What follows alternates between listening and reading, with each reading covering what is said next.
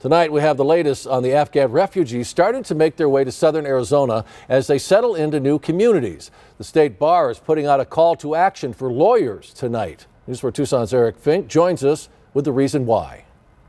One refugee resettlement organization tells us up to 2,000 Afghan refugees are expected in Arizona over the next few months.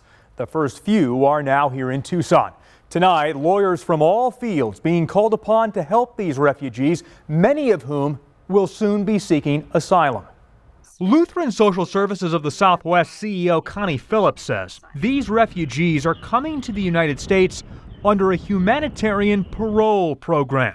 It allows temporary residence in the United States for a period of two years.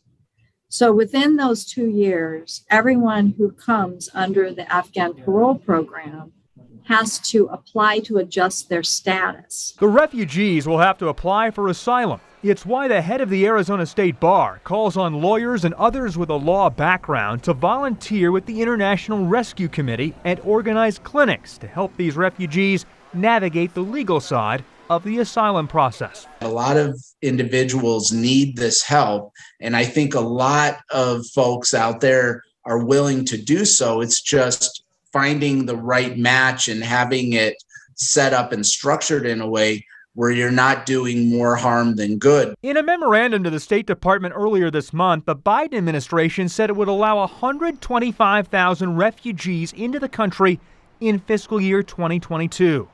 Last year, the administration allowed just more than 11,400. There's a system you have to go through.